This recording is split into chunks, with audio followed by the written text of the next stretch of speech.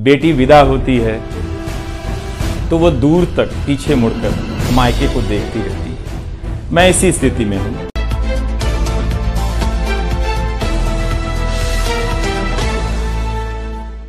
नमस्कार, आप देख रहे हैं बहुजन हलचल आज की सबसे बड़ी खबर।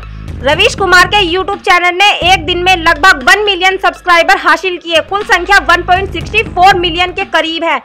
एनडीटीवी से रवीश कुमार के इस्तीफा देने के एक दिन बाद उनके आधिकारिक यूट्यूब चैनल ने 10 लाख ग्राहकों का आंकड़ा पार कर लिया है और लगातार ग्राहकों की संख्या तेज़ी से बढ़ती जा रही है। रवीश का नवीनतम वीडियो, जिसे उन्होंने गुरुवार की सुबह एक भावनात्मक संदेश के रूप में पोस्ट किया था, जिसे उन्होंने अपने इस्तीफे के बाद अपने प्रसंगों और दर्शकों के साथ साझा किया था।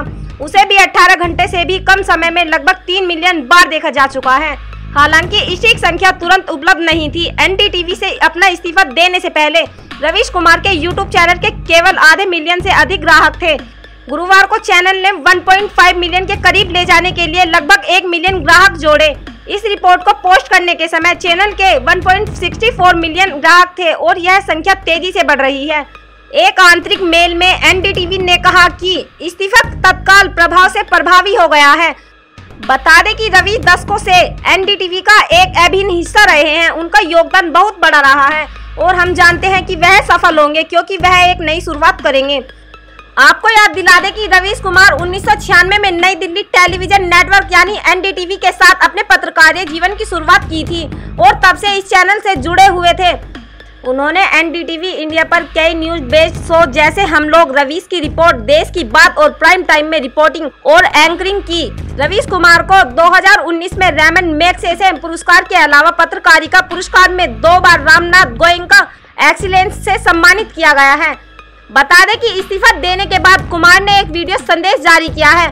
वीडियो में उन्होंने कहा कि भारत में पत्रकारिता का स्वर्ण युग कभी नहीं था, लेकिन आज के दौर की तरह का भस्म युग भी नहीं था, जिसमें पत्रकारिता पेशे की हर अच्छी बात भस्म की जा रही हो। मीडिया की मौजूदा स्थिति की आलोचना करते हुए उन्होंने कहा कि गोदी मीडिया और सरकार भी पत्रकारिता का अपना मतलब आपके ऊपर थोपना चाहती है। इस वक्त अपने संस्थान को लेकर कुछ खास नहीं कहूँगा, क्योंकि भावुकता में आप तथस्थ नहीं रह सकते। एनडीटीवी में 26-27 साल गुजरे हैं। कई शानदार यादें हैं एनडीटीवी में जो अब किससे सुनाने की काम आएगी। उन्होंने आगे कहा कि मुझे सबसे कुछ न कुछ मिला है। मैं सबका आभारी हूँ। एक का ज़िक्र कर बाकी को छोड़ना न्याय नहीं होगा।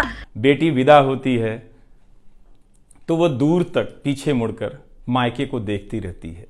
मैं इसी स्थिति में हूँ। बेटी विदा होती है तो वह दूर तक पीछे मुड़कर अपने मायके को देखती है। मैं उसी स्थिति में हूँ। ब्यूरो रिपोर्ट बहुजन हलचल।